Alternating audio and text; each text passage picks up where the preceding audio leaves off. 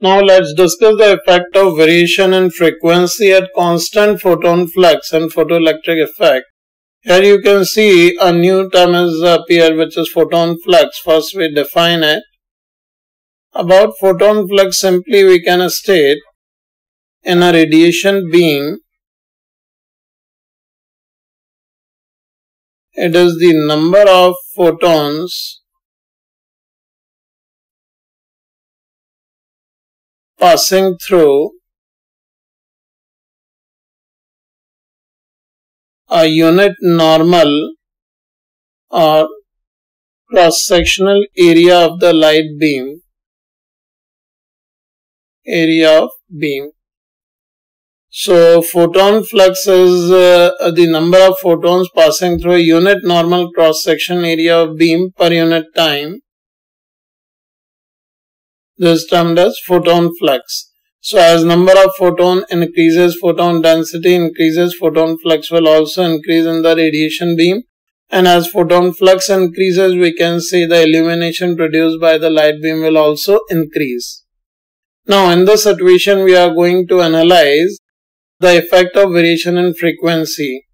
As uh, we already know that uh, one incident light frequency is nu, then the photon energy h nu is used in two parts that is phi plus half mv max square. Here phi is a constant that is a work function of the metal.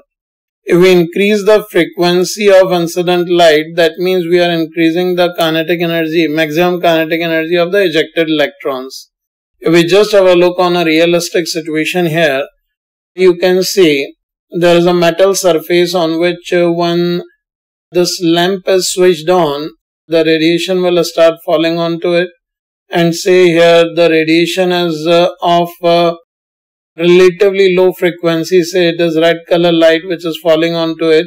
And in this situation, if nu is more than nu threshold, then we can say electrons are being ejected out with some kinetic energy.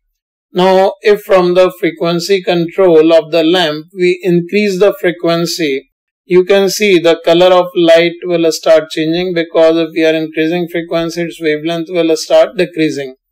And here you can see as frequency increases, the kinetic energy of the ejected electrons uh, will continuously increase.